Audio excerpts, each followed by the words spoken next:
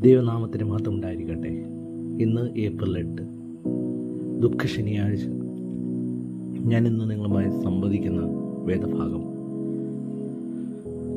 മത്തായി പതിനെട്ടാം അധ്യായം പന്ത്രണ്ട് മുതൽ മുപ്പത്തഞ്ച് വരെയുള്ള വാക്യങ്ങൾ. ഈ വാക്യങ്ങളിൽ യേശു കർത്താവ് ദൈവജനത്തോട് പറയാൻ ആഗ്രഹിക്കുന്ന രണ്ട് പ്രധാനപ്പെട്ട വിഷയങ്ങളാണ്. ഒന്നാമത്തെ വിഷയം ചെറിയവരോടുള്ള കർത്താവിന്റെ കരുതൽ. രണ്ടാമതായി സഹോദരൻ നിന്നോട് പിഴവ് ചെയ്താൽ അവനോടുള്ള നിന്റെ സമീപനം എപ്രകാരമായിരിക്കണം? ഈ രണ്ട് വിഷയങ്ങളും കർത്താവ് ഈ വേദഭാഗത്തിലൂടെ നമ്മോട് സംസാരിക്കുന്നു. അതിന് പന്ത് പന്ത്രണ്ടാം വാക്യം. ഒരു മനുഷ്യന് നൂറ് ആളുണ്ടെന്നിരിക്കട്ടെ അവയിലൊന്ന് വഴിതെറ്റി അലഞ്ഞു പോയാൽ തൊണ്ണൂറ്റൊമ്പതിനെയും വിട്ടിട്ട് തെറ്റിപ്പോയതിനെ മല ഉണളിച്ച് തിരികെയില്ലയോ അതിനെ കണ്ടുകിട്ടിയാൽ തെറ്റിപ്പോകാത്ത തൊണ്ണൂറ്റൊമ്പതിലും അധികം അതിനെക്കുറിച്ച് സന്തോഷിക്കും എന്ന് സത്യമായിട്ട് നിങ്ങളോട് പറയുന്നു.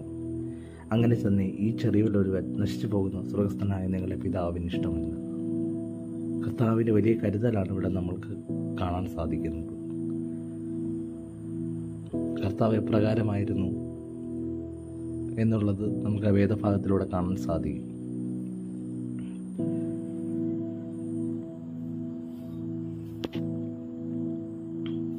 പതിനഞ്ചാം വാക്യത്തിലാണ് നിന്റെ സഹോദരനോട് നിന്റെ സമീപനം ഇപ്രകാരമായിരിക്കണം എന്ന് പ്രതിപാദിച്ചിരിക്കുന്നത്. നിന്റെ സഹോദരൻ നിന്നോട് പാപം ചെയ്താൽ നീ ചെന്ന് നീയും അവനും മാത്രമുള്ളപ്പോൾ കുറ്റം അവന് ബോധ്യം വരുത്തുക അവൻ നിന്റെ വാക്ക് കേട്ടാൽ നീ സഹോദരനെ നേടി.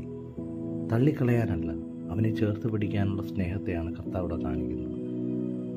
ഒരു ദൈവ യഥാർത്ഥ ദൈവവിശ്വാസി പ്രകാരമായിരിക്കണം എന്നും കർത്താവ് ഒരുപാട് ഊന്നൽ നൽകി സംസാരിക്കുകയാണ്. അവനെ കളയാനല്ല കർത്താവ് പറയുന്നത് അവനെ ചേർത്ത് പിടിക്കാനാണ് കർത്താവ് പറയുന്നത്. ഭൂമിയിൽ നീ കിട്ടുന്നതെല്ലാം സ്വർഗത്തിൽ കെട്ടപ്പെട്ടിരിക്കും.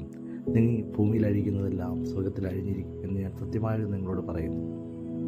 ഈ ഭൂമിയിൽ നമ്മൾ ഉണ്ടാകുന്ന റിലേഷൻഷിപ്പുകൾ ദൈവനാമത്തിലുള്ള റിലേഷൻഷിപ്പുകളുടെ കാര്യമാണ് കർത്താവ് സൂചിപ്പിക്കുന്നത്.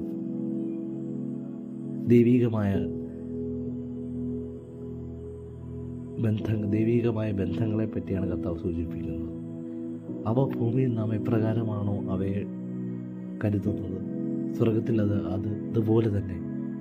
നിങ്ങളെ കരുതുന്ന നമ്മളെ കരുതുന്ന ദൈവസ്നേഹം സ്വർഗത്തിലുണ്ടാകും എന്ന് കർത്താവ് നമ്മളോട് പറയാം അല്ലാഞ്ഞാലോ സ്വർഗത്തിലുള്ള ദൈവം നമ്മളോട് ക്ഷമിക്കുകയില്ല. നിന്റെ സഹോദരനോട് നിനക്ക് ക്ഷമിക്കാൻ സാധിക്കുന്നില്ലെങ്കിൽ കർത്താവ് ചോദിക്കുന്നു കാണാതായ കാണാത്ത ദൈവത്തെ നീ എങ്ങനെ സ്നേഹിക്കും?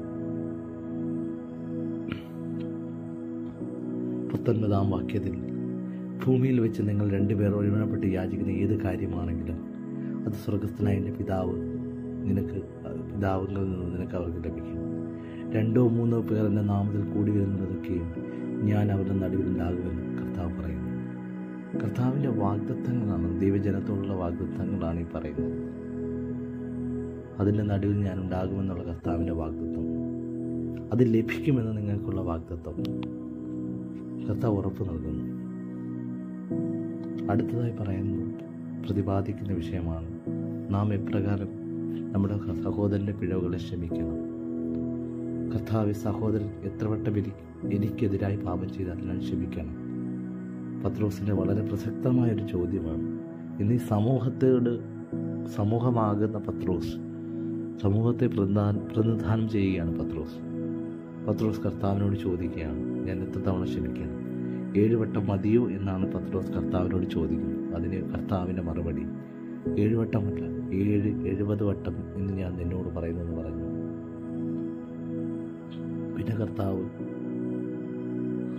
തന്റെ സ്വർഗരാജ്യം തന്റെ ദാസന്മാരുമായി കണക്ക് തീർപ്പാൻ ഭാവിക്കുന്ന ഒരു രാജാവിന്റെ ഉപമ ഉപമ സംസാരിക്കുന്നു. ആ ഉപമയിലൂടെ കർത്താവ് പറയുകയാണ് ഒരു ഒരു രാജാവും അവന്റെ ശിഷ്യന്മാരും തന്റെ ദാസന്മാരുമായിട്ട് ആ രാജാവ് എങ്ങനെയായിരുന്നു? ആ രാജാവിന് രാജാവിനോട് നീതി പുലർത്താത്തൊരു ദാസൻ. ആ ദാസനോട് രാജാവ് ക്ഷമിച്ചപ്പോൾ ആ ദാസൻ കടപ്പെട്ട് ദാസനോട് കടപ്പെട്ട വേറൊരു വ്യക്തിയോട് ദാസന്റെ സമീപനം വളരെ മോശമായിരുന്നു. അതാണ് ആ കഥയിലൂടെ ബൊവയിലൂടെ പറയുന്നത്. ആ കൂട്ടുദാസൻ ആ ദാസ കൂട്ടുദാസൻ അവനോട് ക്ഷമ ചോദിച്ചിട്ടും ക്ഷമിക്കാൻ അവന് സാധിച്ചില്ല.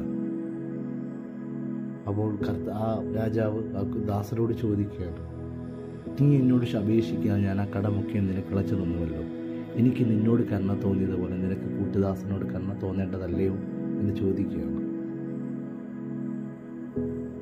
കർത്താവ് ഈ ഈ ഉപമയിലൂടെ നമ്മളോട് പറയുന്ന കാര്യം വളരെ പ്രസക്തമാണ്. നിങ്ങൾ ഓരോരുത്തരും സഹോദരനോട് ഹൃദയപൂർവം നിങ്ങൾ ക്ഷമിക്കാൻ സാധിക്കുന്നില്ല എങ്കിൽ സ്വർഗസ്ഥനായ നമ്മുടെ പിതാവ് അങ്ങനെ തന്നെയായിരിക്കും. കർത്താവിന്റെ സമീപനവും നമ്മളോട് ഇങ്ങനെ തന്നെയായിരിക്കും എന്നാണ് കർത്താവ് ഊന്നൽ നൽകി ഈ വാക്യങ്ങളോട് പറയുന്നത്.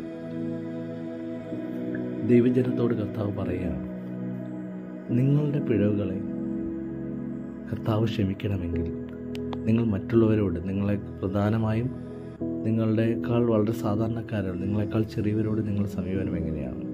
അവരുടെ പിഴവുകളെ നിങ്ങൾക്ക് ക്ഷമിക്കാൻ സാധിക്കുന്നില്ല എങ്കിൽ നിങ്ങളുടെ പിഴവുകളെ സ്വർഗസ്ഥനായ ദൈവത്തിനും ക്ഷമിക്കാൻ സാധിക്കുകയില്ല എന്ന് തന്നെയാണ് ഈ വാക്യങ്ങളിലൂടെ കർത്താവ് നമ്മളോട് പറയുന്നത്.